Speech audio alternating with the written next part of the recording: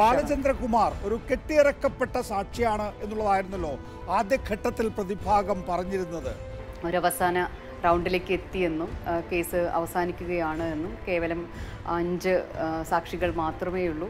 നമ്മളതൊരു മൂന്ന് മാസത്തിൽ കൂടുതൽ പോവില്ല എന്നൊരു പ്രതീക്ഷയിലായിരുന്നു. നമ്മൾ സമാനതകളില്ലാത്ത രീതിയിലുള്ള ഒരു ക്രോസ് എക്സാമിനേഷൻ ആയിരുന്നു എന്ന് നമ്മൾ പറഞ്ഞു കഴിഞ്ഞാൽ അതിൽ യാതൊരുവിധ തെറ്റുമില്ല.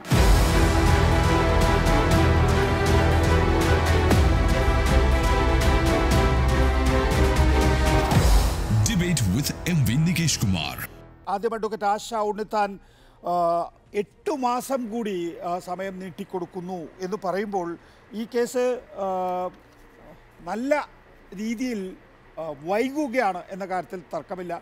ഈ മെമ്മറി കാർഡ് ആക്സസ് ചെയ്ത സംഭവത്തിൽ ദിലീപിന്റെ അഭിഭാഷകൻ അഡ്വക്കേറ്റ് രാമൻ പിള്ള പറഞ്ഞത് എന്റെ കക്ഷിക്കാണ് അതുകൊണ്ട് ദോഷം ഈ കേസിൽ കേസ് ഇങ്ങനെ നീണ്ടുപോകുന്നതിൽ എന്നുള്ളതാണ്. എട്ടു മാസം എന്ന് പറയുന്നതിന് വിചാരണ കോടതിക്ക് അതിന്റെതായ കാരണങ്ങളുണ്ട് എങ്കിൽ തന്നെയും ഈ കേസ് നീണ്ടുപോവുകയാണ് എന്നുള്ളത് ഒരു പരാതിയായി അവശേഷിക്കുകയല്ലേ?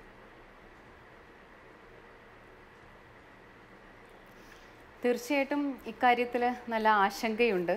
കാരണം ആക്ച്വലി കേസിന്റെ ഒരു സ്വഭാവം വെച്ച് നോക്കുമ്പോൾ ഒരവസാന റൗണ്ടിലേക്ക് എത്തിയെന്നും കേസ് അവസാനിക്കുകയാണ് എന്നും കേവലം അഞ്ച് സാക്ഷികൾ മാത്രമേ ഉള്ളൂ.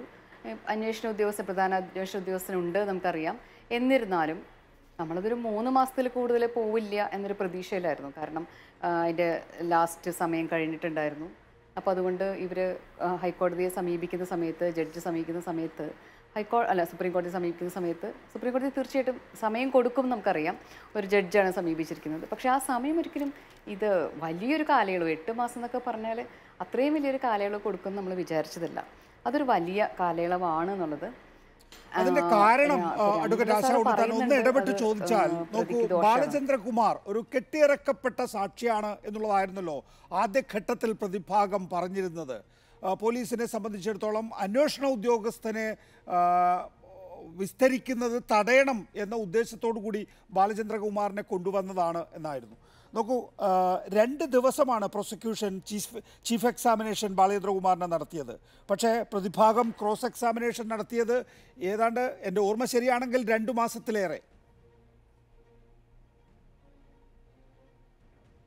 അതെ തീർച്ചയായിട്ടും. തീർച്ചയായിട്ടും. അതൊരു അതെ ഒരു അതും അസുഖബാധിതനായിട്ടുള്ള ഒരു മനുഷ്യൻ. അദ്ദേഹത്തിന് വേണ്ടുന്ന പല ഹ്യൂമൻ റൈറ്റ് കൺസിഡറേഷൻ ഇല്ലാതെ വലിയ രീതിയിൽ തന്നെ കാല സമയം എടുത്തുകൊണ്ട് ചെയ്തത്. നമ്മൾ സമാനതകളില്ലാത്ത രീതിയിലുള്ള ഒരു ക്രോസ് എക്സാമിനേഷൻ ആയിരുന്നു എന്ന് നമ്മൾ പറഞ്ഞു കഴിഞ്ഞാൽ അതിൽ യാതൊരുവിധ തെറ്റുമില്ല. അതിന്റെ ഹാർഡ്ഷിപ്സ് മുഴുവനും അദ്ദേഹം വിവരിക്കുന്നുമുണ്ട്. അത് ഒക്കെ അനുവദിക്കാനും എല്ലാത്തിനും തയ്യാറായിരുന്നു നമ്മുടെ കോടതി എന്നുള്ളതും നമുക്ക് അത്ഭുതം തോന്നിയൊരു കാര്യമാണ്. കാരണം ഇങ്ങനെയൊന്നും ഒരു ഹാർഡ്ഷിപ്സ് കൊടുത്തുകൊണ്ടല്ല ഒരു ഫ്രീ ആൻഡ് ഫെയർ ട്രയൽ പോവാറ് പതിവ്. അപ്പോൾ അങ്ങനെ വളരെ സമ്മർദ്ദം അവർക്ക് നന്നായിട്ട് ഈ സാക്ഷിക്ക് അനുഭവിക്കേണ്ടി വന്നിട്ടുണ്ടെന്ന് നമുക്കറിയാവുന്ന കാര്യമാണ്. അപ്പോൾ തീർച്ചയായിട്ടും തന്നെ അതിന്റെ മുകളിൽ എല്ലാവർക്കും അതിന്റേതായ ഒരു ക്രിറ്റിസിസം ഉണ്ട്. പക്ഷെ അതും കഴിഞ്ഞു പോയി അതും തീർന്നു. അതും ആ ഒരു ഫേസും നമ്മൾ ഫേസ് ചെയ്ത് കടന്നു. ഇപ്പോൾ നമ്മൾ കാണുന്നത് വളരെ ചെറിയ ഒരു സമയം ആവശ്യമുള്ള ഇപ്പം ഏറി വന്നാൽ നമ്മൾ പറയുന്ന പോലെ മൂന്ന് മാസം ഒക്കെ വേണ്ടി വന്നാൽ തീർക്കാവുന്ന ഒരു മാറ്റർ. ആർഗ്യൂ ചെയ്യാനുണ്ട് നമുക്കറിയാം. പക്ഷേ ആർഗ്യൂ ചെയ്യാനുണ്ടെന്ന് പറഞ്ഞാൽ അത് മാസങ്ങളോളം നീണ്ട ഒരു ആർഗ്യുമെന്റ് ഒന്നും ഒരു മറ്റൊരു കേസുകൾ നമ്മൾ കണ്ടിട്ടില്ല. അപ്പോൾ ഈ കേസിന്റെ എല്ലാ കാര്യങ്ങളിലും സമാനതകളില്ലാത്ത രീതിയിലുള്ള ചില എക്സാമ്പിൾസ് ആണ് മുന്നിലേക്ക് വരുന്നത്.